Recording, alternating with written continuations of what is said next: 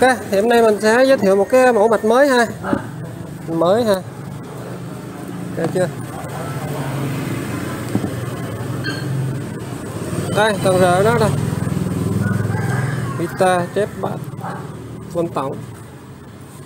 Echo thì biết delay reverb Bit bát nó chép, thôi Ok chưa?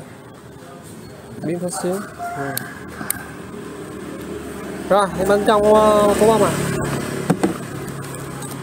Đây tầng rễ nó. Biến có xiến thôi. Đây thì ờ, ờ, uh, biến có xiến chạy nguồn 32 phân đo.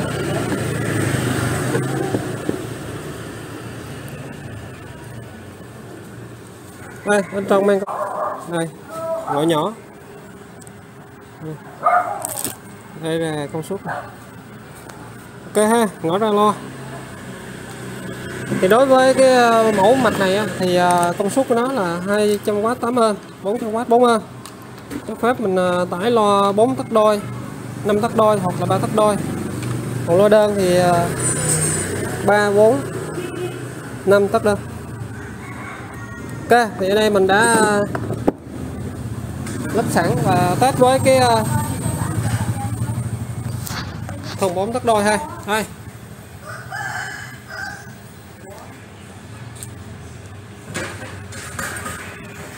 Ok, thì ở đây mình sẽ à, tiến hành à,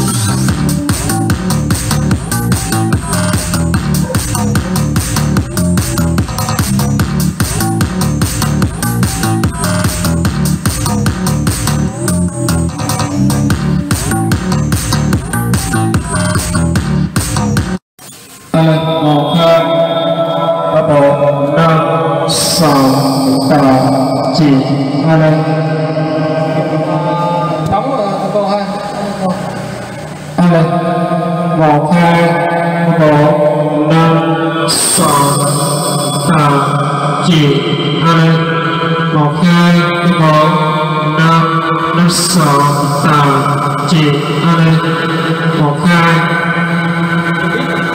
thì biết trong mắt này đây trong mắt này trường hợp trong mắt này rồi họ tôi lên à đây một hai ba bốn năm năm sáu tám chín chín hai một hai ba bốn năm năm sáu tám chín hai